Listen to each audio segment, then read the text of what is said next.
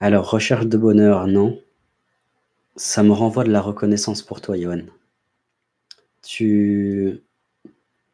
Tout ton système de qu'est-ce que je dois faire dans la vie est basé sur une quête de reconnaissance, est basé sur une quête de je suis aveugle à la reconnaissance qu'on me porte déjà, je suis aveugle à la reconnaissance que, je me porte déjà.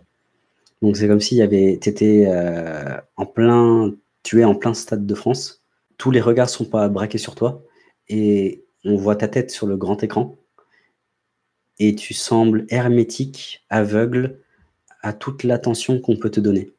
Donc, tu cherches quelque chose que tu as déjà. C'est-à-dire, tu as une certaine idée en tête de ce que c'est être reconnu. Et tu ne veux pas te départir de cette, euh, définition de la reconnaissance, parce que sinon, ce serait remettre en cause ton système et remettre en cause ton système à, tes parents, en fait, à ton père et à ta mère. Donc c'est pour ça que tu, euh, euh, ouais, c'est pour ça que tu t'accroches vraiment à cette, à cette quête sans y aller vraiment. Parce que si tu y vas vraiment, tu auras vraiment les réponses concernant est-ce que les gens te, te reconnaissent et est-ce que toi tu te reconnais.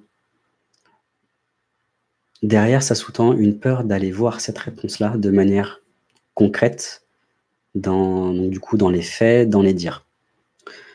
Donc j'ai envie de te dire, une fois que tu auras réglé réellement cette problématique de reconnaissance, là, tu pourras vraiment faire un pas vers moi, qu'est-ce que je veux faire? Parce que tu seras apte à te corriger toi-même dans la fausse direction que tu crées en voulant à tout, prix te faire reconnaître avec, avec la définition que toi tu as. Tu laisses pas la possibilité aux autres et à la vie de te donner une autre définition, de te renvoyer une autre définition.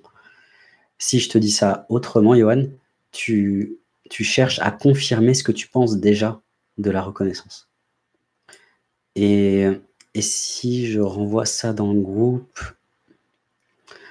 on a tous et toutes un, un membre préféré de notre famille, c'est-à-dire quelqu'un avec qui on adore être, ou un meilleur ami, une meilleure amie, quelqu'un que même si on ne le voit pas souvent, il sera toujours là même si on le voit trois fois par an ou une fois tous les dix ans, on sait pertinemment que lorsqu'on va se retrouver, ce sera comme si on s'était quitté il y a cinq minutes.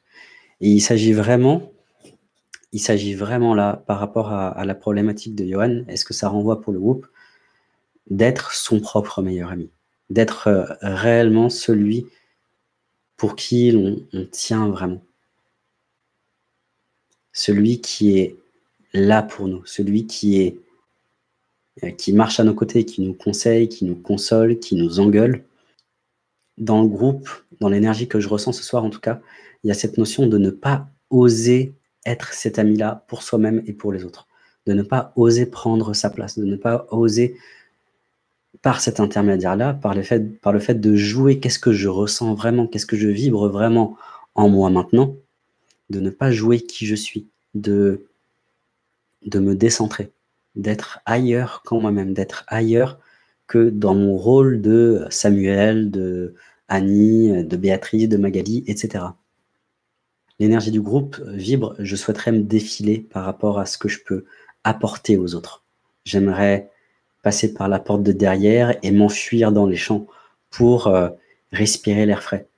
Alors que ne pas se confronter aux, vicissitudes que peut nous apporter le quotidien, la relation aux, aux, amis, à la famille, au travail ou autre, c'est ne pas être dans l'opportunité de voir qui je suis, de se reconnaître qui je suis.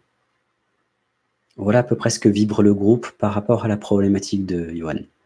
Donc Johan, je te remercie pour, euh, pour cette question et je te souhaite une bonne soirée. Salut.